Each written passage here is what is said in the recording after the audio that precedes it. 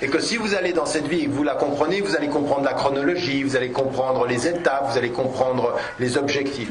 Donc euh, parfois, il faut ne donner pas le Coran à quelqu'un à qui ou quelqu'un à qui vous avez comme introduction à l'islam. Le Coran en tant que texte peut parfois jouer un rôle. Ça, c'est le secret du Coran. Ça, le Coran, ça arrive. Mais si vous voulez euh, introduire pour quelqu'un l'islam, le Coran en tant que tel est difficile. Spirituellement, c'est un livre très accessible pour tous, mais dans la dimension de la compréhension profonde de ce que c'est que l'islam, il faut véritablement, il vaut mieux passer par la sirah du prophète que de passer par le Coran. Parce qu'en même temps, ça c'est pas facile, de dire. Simplement, vous vous arrêtez après Surat al-Fatiha, dans Surat al-Baqarah, qui est la première des sourates qui est révélée à Médine, avec des niveaux de, de, de, de, sens et des niveaux de, historiques de compréhension. C'est difficile.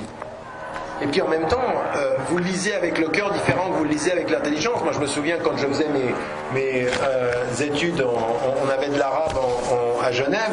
Euh, et un enseignement islamique aussi. Et dans l'enseignement islamique, il y avait quelqu'un qui était un, étudiant qui n'était pas musulman, qui commençait à lire le Coran. Et puis il dit, il dit ouais, mais ce Coran-là, c'est un peu bizarre comme texte, c'est plein de répétitions. Parce qu'effectivement, les histoires reviennent. Mais ce qui est une répétition pour son intelligence, pour nous, c'est quoi? C'est un rappel. Oui, c'est un rappel d'approfondissement. Le cœur a besoin de rappel. Oui, c'est exactement la même chose comme quelqu'un qui n'aime pas observe une femme ou un homme qui dit à celui ou à celle qu'il aime je t'aime et il dit mais il répète beaucoup quand même. Vous voyez ça? Vous voyez la différence? Il répète beaucoup je t'aime. Le cœur n'a jamais l'impression qu'on répète assez. Mais l'intelligence dit arrête de me répéter, je le sais maintenant. Eh ben c'est exactement ce niveau-là. Et si vous donnez le Coran des moments donnés, c'est comme si vous parliez à une intelligence de choses qui vont être accessibles au cœur. Et je pense que c'est mieux de passer par la sira du prophète, parce que c'est euh, euh, l'expression. Comment vivre l'islam en Europe? Alors encore une fois, je ne peux pas répondre à cette question de façon détaillée. J'en ai un petit peu parlé hier à la conférence à, Genève, ça sera sur le site. D'ailleurs, je vous, je, vous engage à la communication par l'intermédiaire du site. moi, j'écoute beaucoup ce qui se dit, je lis beaucoup de ce qui est sur tarikramadan.com. D'ailleurs, sur toutes les conférences on essaye de les mettre euh, sur le site, mais en même temps la communication. Donc euh, euh, il y a plein de textes courts qui peuvent vous présenter comment vivre l'islam en Europe. Le dernier livre, Mon intime conviction, c'est exactement la réponse à ça. C'est comment vivre l'islam en Occident, quels sont les tests, quels sont les, éléments fondamentaux. Et donc le livre que j'avais concentré sur cette question-là, c'est Être musulman européen, qui apporte des éléments de spiritualité, des éléments de législation et des éléments de société, Inch'Allah. Doit-on participer à la finance islamique en Europe Ah oui, euh, ne me comprenez pas mal. Je pense que ce que présente aujourd'hui n'est pas l'objet final, n'est pas l'objet abouti de notre participation à l'économie euh, internationale. Mais ça peut être une étape. Il y a un certain nombre d'entre vous, il faut que vous puissiez être partie prenante, soit de la réflexion, soit de, la viabilité des projets. Euh, donc si vous pouvez le faire, faites-le. Et donc, euh, ne me comprenez pas mal. Moi, ce que j'étais en train de dire, c'est que la réforme de la transformation, elle peut passer par de l'adaptation, mais si l'adaptation connaît son objectif, c'est-à-dire qu'elle sait qu'elle veut aller plus loin. Elle ne va pas simplement nous dire, euh, dans euh, l'ordre international, la finance islamique ou l'économie islamique a trouvé sa solution. Quand j'entends des gens qui nous disent aujourd'hui, au niveau de la crise mondiale, ah, nous avons une alternative islamique, Dire, il, faut, il, faut, il faut arrêter de, dire des choses qui ne sont pas vraies. Il n'y a pas aujourd'hui de projet international de finance ou d'économie islamique alternative. C'est pas vrai. On a des instruments et des objectifs, mais on n'a pas de modèle. On n'a pas ce modèle-là. Et même dans, ce qui se fait au niveau euh, spécifique, euh, j'ai discuté avec des économistes qui parfois écoutent un certain nombre de musulmans parler sur cette question-là. Ils disent c'est simpliste, ça tient pas, on peut pas. Moi, j'avais une fois, je l'ai répété souvent, j'avais une fois été au Canada, on avait un économiste qui était interpellé par un, jeune en économie qui lui dit Mais moi, je ne comprends pas avec toutes les techniques de l'islam, comment, on fera euh, dans l'économie islamique Comment va-t-on gérer des questions qui sont euh, des questions d'inflation euh, et des questions de, de spéculation? Et lui, il lui répond comme ça. Il dit, mais dans une économie islamique, il n'y a pas d'inflation, il n'y a pas de spéculation. Voilà, ben merci. Donc euh, le problème est résolu en le niant. Ça marche. Non, mais attendez, mais c'est plus que ça. C'est-à-dire que n'importe quel savant musulman aujourd'hui qui lutte contre l'intérêt et la spéculation doit tenir compte dans les réponses légales sur les processus d'inflation. Parce que l'inflation, elle fait partie de l'évolution de l'économie à travers le temps. Donc les choses, il y a une inflation, mais elle n'est pas exactement l'intérêt. Donc même dans le. Par exemple, si je donne 100 francs à quelqu'un, oui si vous comptez ce que compte 100 francs aujourd'hui, ça vaut quoi 100 francs aujourd'hui Ça vaut je peux acheter ceci ou cela. Dans 10 ans, s'il me rend 100 francs, les 100 francs qu'il m'a donnés dans 10 ans, je ne pourrais pas acheter la même chose que ce que je pouvais acheter il y a 10 ans. Est-ce que la marge qu'il doit me donner en plus, c'est de l'intérêt ou est-ce que c'est simplement l'adaptation inflationniste? Aïwa. Alors celui qui dit c'est haram, il dit attends, calme-toi. Là, c'est, on demande aux spécialistes comment on fait.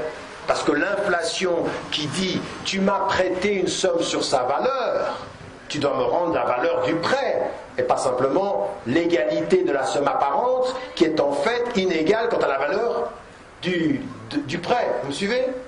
Ah ben oui, alors comment on va faire? Là, il nous faut des spécialistes. Celui qui est resté 10 ans avec le Coran et la Sharia, ça, il ne peut pas le savoir. Il ne peut pas donner un avis légal là-dessus, c'est plus complexe que cela. Comment intégrer l'inflation non spécifiquement liée à l'intérêt en tant que l'intérêt c'est produire de l'argent par l'argent sans les processus d'inflation? Comment faire ceci en restant fidèle au principe de l'islam et en même temps en refusant la spéculation et de l'intérêt? Sur des choses aussi simples que ça? Aussi simples que ça? Alors là je vous ai pris un cas de figure, mais vous ne vous rendez pas compte quand vous avez une entreprise quand vous avez, euh, euh, euh, vous avez une compagnie et quand vous avez une librairie, là on a par exemple des frères qui, ont, qui, qui éditent des livres, ben, tout, ça tout ça, ce sont des domaines sur lesquels il faut s'arrêter si on a envie de réformer les choses. Donc oui, il faut y participer, mais sans se cacher derrière des mots et en essayant d'apporter une contribution de ce point de vue-là. Alors, ça sera la dernière les deux dernières questions. Quelles sont, s'il vous plaît, vos impressions sur les souvenirs de votre vie ah, d'accord, sur les, souvenirs de votre visite en Bosnie-Herzégovine. Ça, c'est un citoyen suisse bosniaque. Donc là, on m'amène directement en Bosnie. C'est pas directement lié au, au, sujet. Euh, simplement pour vous dire une chose.